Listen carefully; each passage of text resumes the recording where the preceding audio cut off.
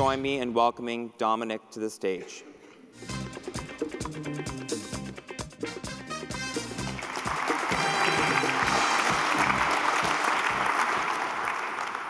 Good morning, everyone. Thanks for having me here at Augmented World Expo. I appreciate the fact that even though we're talking about augmented reality first and foremost, I will be talking about virtual reality. And what I'll be talking about are the challenges that virtual reality offers to the market that is out there, and especially in terms of rendering performance.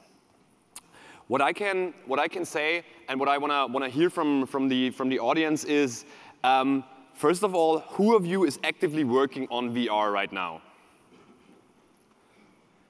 And who of you have never tried VR at all? OK, that's a good audience then. Um, I'm just asking this because I want to know how deep, uh, how deep I should go into the topic of the rendering challenges for virtual reality. But before I do that, I want to introduce me and what I'm doing at NVIDIA. So I'm a huge virtual reality enthusiast. Four years ago, I've tried the original duct-taped prototype of the Oculus Rift, back when it, when it was still literally a ripped out um, smartphone display with a couple of sensors held together literally by duct tape. And even then, the, the, the impression that I got from, the, from this experience was really mind-blowing to me. I did everything I could to, to push the medium as far as I can. I, I started the, the largest unofficial community for, uh, for virtual reality on the net, which is the Oculus subreddit. I co-founded an, a non-profit organization called EUVR, which is there to push the envelope for European VR developers so that the United States, and especially Silicon Valley, doesn't have as crazy a head start as they already have because I know how crazy the head start is, I've also had my own VR company called Realities.io um, in Silicon Valley. They're still going strong. Uh, one of my one of my co-founders will actually be speaking later today. Um, but right now, what, what my job is at NVIDIA is to push the envelope for European VR, uh, for the European VR ecosystem. So essentially, what I've been doing on the side before is now my main job, and I'm getting paid for that, which is kind of cool. And me as a, as a huge VR enthusiast, I believe that um, personal entertainment in VR will be huge. So there will be a lot of industries that will be changed by virtual reality. But not only entertainment is the, is the important part, because that's an obvious choice. Also, what's super interesting is the professional side of things. So all of you know that um, AR is, is going to be big. It's going to be changing a lot of things. Um, and one of those will be, for example, the design. So the Audi VR experience is something that I always, always bring up, is, some, is something where you have a, a car configurator, you can choose your own car, you can choose what kind of seats you want, what kind of steering wheel you want, and then, and, and then later on, that car gets delivered to you as you, as you configured it before. And there's a ton of other applications, medical VR, architectural visualiza visualization. All these things will be changed by virtual reality. But there's a large but. There are a lot of computing challenges in simulating reality. If you want to get people a very, very convincing experience, then you have to do not only the graphics side of things, but you also have to care about audio, about touch, so the interaction with the virtual world, and also a physical simulation. If you're going into a virtual reality, you want things to behave just as they would in real life. So you want water to flow like water does in real life. You want fire to react like fire in real life. You want everything to be very convincing, and that is essential for a good VR experience. And I'm going to touch on all of these topics today. So first of all, graphics. VR, VR has a lot of performance demands. So if you, if you take into account a normal game that's running on, at 30 FPS on a full HD monitor, that's about 60 megapixels per second. For VR, that is about eight times the bandwidth that you need to get to a very, very good experience. So you have two displays, one for the left eye, one for the right eye. You, you have to drive them at a way higher resolution and also at a higher frame rate of 90 frames per second. That comes up to about 450 megapixels per second that you have to push through the pipeline.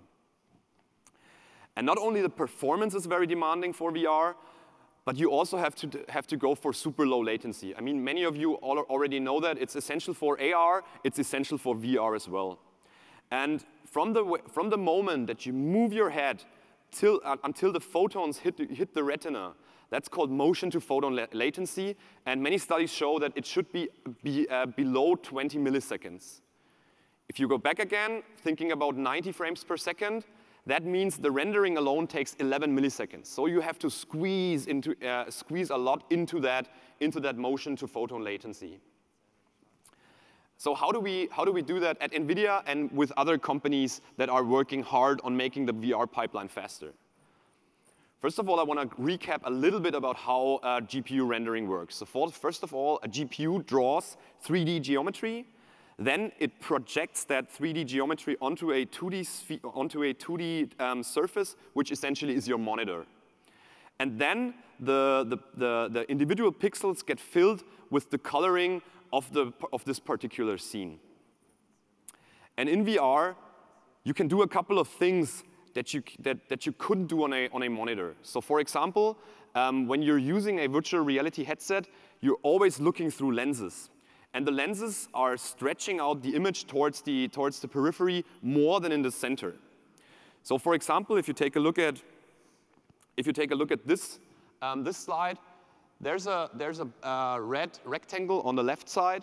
You see on the right side, it gets squeezed a lot. So a lot of image information is essentially getting lost. And you can take advantage of that by rendering those parts of the image that gets, that gets squeezed more um, at lower resolution. So at NVIDIA, we've introduced something with the Maxwell generation called um, multi-res shading. And that essentially means that you divide the viewport into nine, in, into nine smaller viewports, and then only render the center one at full resolution. The outer parts are rendered at lower resolution. And on the right, on the, on the right picture, you see all the black space around is, are essentially pixels that you're saving. So you're not rendering these pixels because they get stretched out anyway um, during, the, during, the, um, during the reflection in the lenses. But this means that there are, there's a, a line in, at which you can see the different resolutions. So essentially, the outer viewports are, render, are more blurry than the center one because there's a hard line in between. What we've done with, um, with the new Pascal architecture, which is the 10, the 10 series of uh, GeForce graphics cards, is called lens-matched shading. And lens-matched shading allows you to have a linear, uh, linear variable um, pixel density along, along the middle line and the, and, and the center line. So that means that um, you're essentially rendering to a surface that is very close to the lens that you're looking through, which means that you don't see any, any hard lines, you don't see any, um, any switches from the, from the main center view to the periphery. And again, on the, on the right picture, you see that um, you're essentially saving a lot of pixels, so you're um, not putting as much pressure on the pixel shader. So the pixel shader side of things is covered. But what about geometry?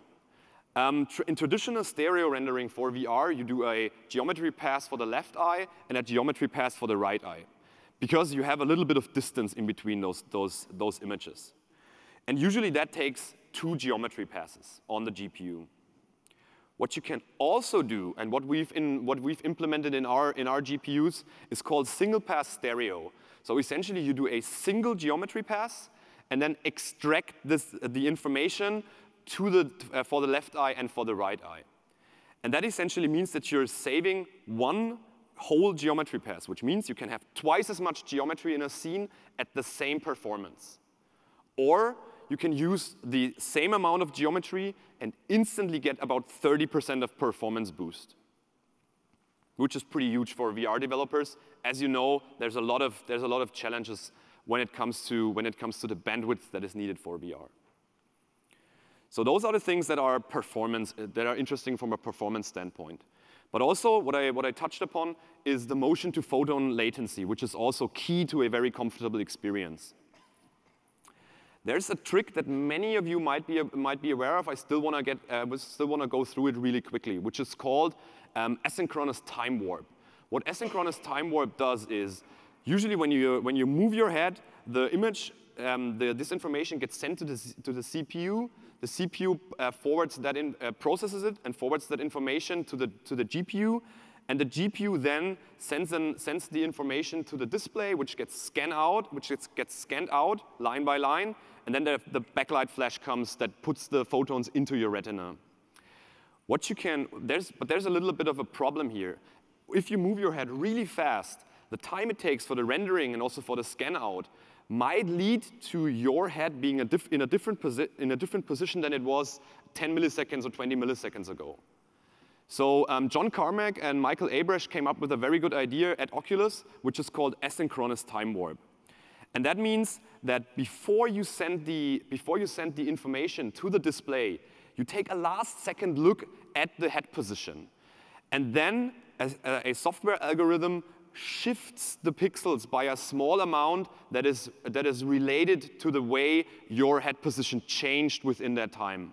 So essentially, you take a last second look and then shift it a, a tiny little bit, and that lowers the perceived latency by a lot. With, so this was implemented, this was implemented already. Um, what we've done in, with our Pascal architecture is a system called preemption. So essentially that means that usually you have a pretty long, um, a pretty conservative preemption request. So you have to take the, the time into account that you actually need to interrupt the GPU. What you don't have to do with Pascal is um, the fact that you can essentially interrupt the G GPU at a very fine granularity. You don't have to wait for the last draw call to finish. You can already, you can already, um, you can already save a little bit of a little bit of time on top of the asynchronous time warp because you can look closer to the actual to the actual scan out of the display. So I've covered three things. Um, first of all, there's the, there's the uh, pixel shader that isn't, that isn't um, uh, there's, there's not as, as much pressure on the pixel shader. You can have greater geometry detail because of the, because of the single pass stereo. And then also you have a fa faster time warp with preemption. But graphics isn't everything in VR. Audio is also super important. If you're playing a VR game and a bullet flies by your head, you want to hear it coming from the backside. You want to turn your head instantly just because of the way your, your human perception works in that regard. Most of you probably know this, but the, your, your ears are very much an, an, uh, a tracking system by itself. So what, what you can do is uh, your ears can tell the time difference from the, from the sound reaching your individual ears. So if something's coming, coming from the right side, for example, it first hits my right, my right ear, then it hits my left ear, and the time difference is used to, um, to locate the sound source. Also, the level of the noise is, is, important. So for example, if something again comes from the right, it will be louder on my, on my, on my right ear than it will be on my left ear. But then also there's interesting things like spectral cues. So for example, your body knows how the sound waves are being reflected off your shoulders, off the back of your head, and even the back of your ears. And all these things are used when you're, when you're doing um, HRTF, which is a head-related transfer function, which essentially means that you're taking all of these spectral cues, sound sources, and locations into account and use those for uh, simulating them in VR. And it's a, it's a pretty, it's a pretty, uh, tricky, it's a pretty tricky thing to do um, from a computational perspective. So what we've done is we've used a, our OptiX ray tracing engine. So essentially something that we've built for graphic um, simulation to use in, uh, for audio. So what this does is it takes into account the, the geometry of the, of the scene, it takes into account spectral cues, it takes into account um, things like how sound propagates through a, through a volume.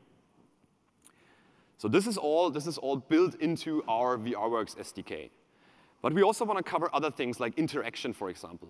Most of you probably know this, but NVIDIA has been building a physics um, SDK for a long time. So we've been simulating physics on a very, very um, fundamental level. And now we're using that to build a layer upon those informations. So for example, if you're hitting two swords um, against each other, the system can tell that geometry is being, uh, that two pieces of geometry are touching each other, and you can then forward that information to the, to the haptics layer.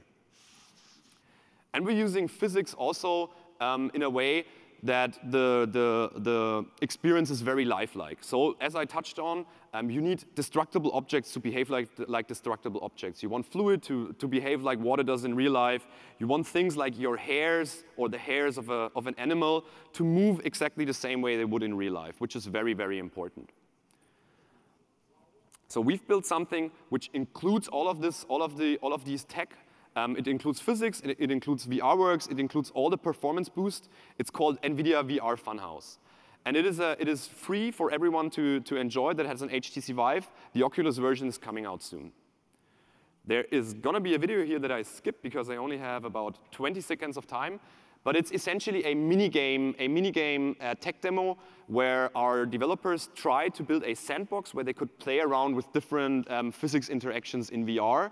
And we realized that it's actually so much fun that we, that we released it as a game, which is the first game that NVIDIA has ever released, which makes me kind of proud because it's a VR game.